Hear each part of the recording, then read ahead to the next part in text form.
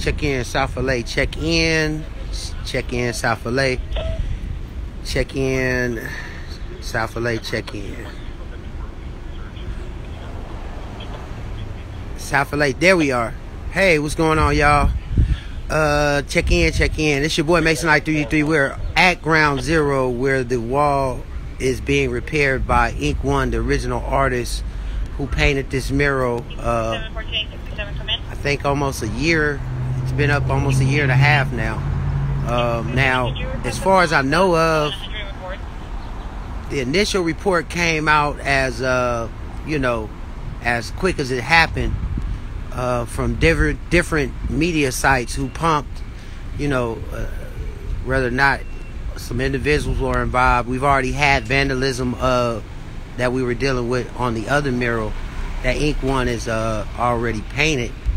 So again, that wall, a lot of people were trying to find out what, what was up with that wall on some of the comments is not uh, ready to be you know, fixed at this particular time for whatever reason.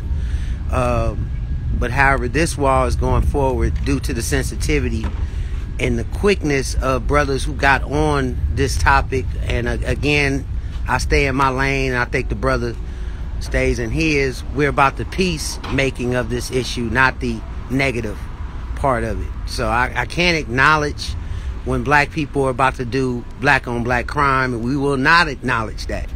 What we will acknowledge is that the wall's being restored and paint can always be put back on the wall, but a person's life can never be replaced.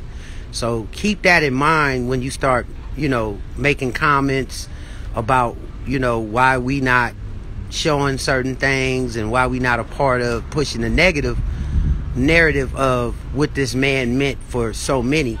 It was not to be, uh, you know, obviously trying to take the life of another person. Because if that's the case, he wouldn't have never helped everybody in everybody's hood, and uh, as well as religion wise, and uh, stem cell research. And, and Dr. Sebi, he wouldn't even be talking like that if he didn't mean a bigger or have a bigger picture than what you see on this wall. So it's important to know that you know Satan exists in all colors, and um, you know, we got demons, uh, all walks and talks of life. I don't care what color you are. That once that prevails, well, there's a positive energy that goes against negative. It's nothing that we can do about that. That's nature. That's the way God made it. So for those who feel like, oh, Ink One is painting the wall a hundred times over, why is he doing it? Well, then why is God keeping you alive after you didn't sin and probably did a lot of things in your life? And why do you get a second a third and a fourth chance to basically get it right? That's why he's doing it. And it takes a marathon it takes a community to get it right.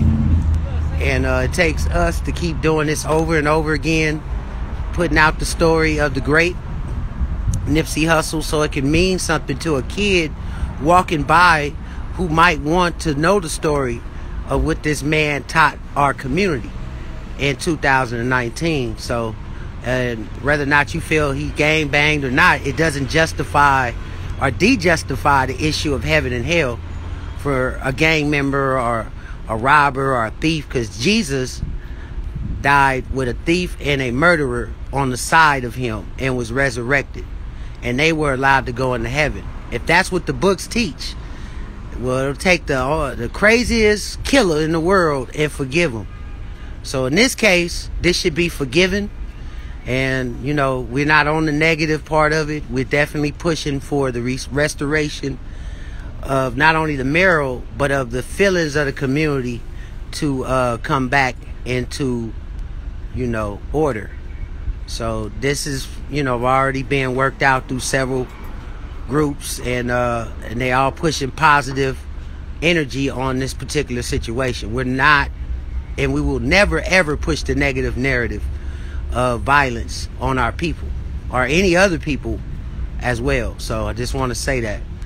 Um, so yeah, you definitely want to plug Ink One's Cash App as he goes along because I got food, resources, paint. Let me show y'all. This paint right here is $20, $30 a can. And the brother's doing this out of his own pocket. And uh, you know, he might have to come back out here probably tomorrow. We don't know. Or maybe the next week. We don't know.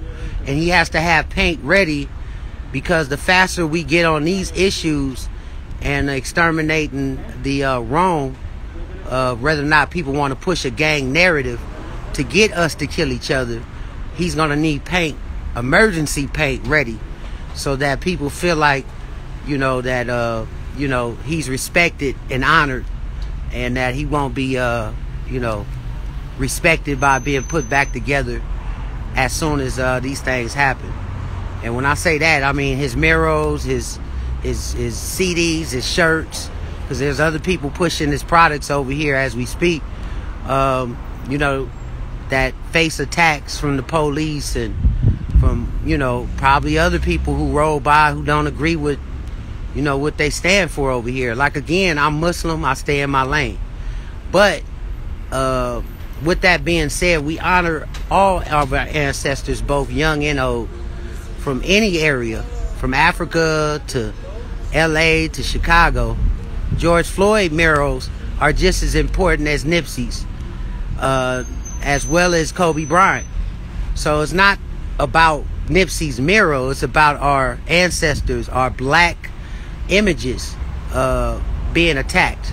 So we allow Nipsey, then you allow Kobe, then they, then you allow George Floyd, then you allow, you know, all the other murals around the city that depict our history and where we came from and where we're going at this point. So I need y'all to understand, you know, if you're young and you want to tag on something, this is not what you do, my brother. You you tag on a wall or that's empty, you know, make your point you know, another way if that's what you want to do. But any type of gang writing or just, you know, hate writing in a sense is uh, definitely, uh, you know, not accepted at any time, especially on artwork, because these brothers really take their time to create their craft. And there is a rule on graffiti.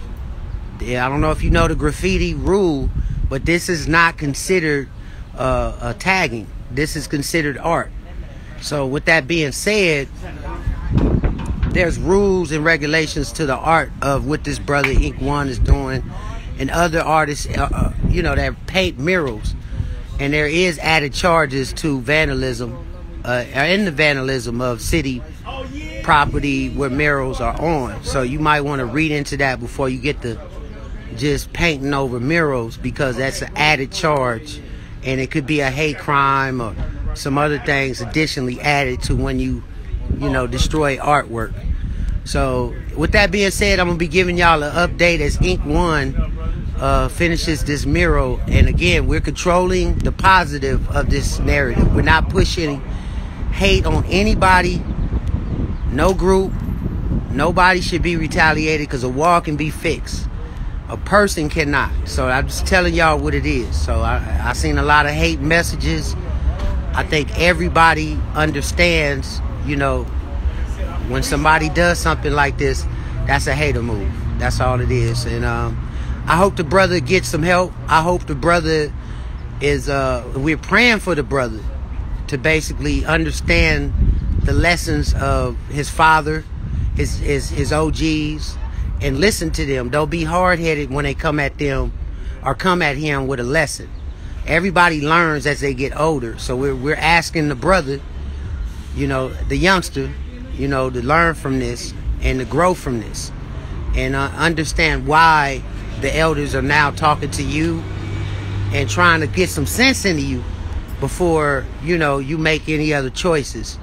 And we hope you make and, and raise your family, brother. Go get a job and do something positive. If uh, you know that energy uh, it's young and it's, it's crazy, it's wild, we get it.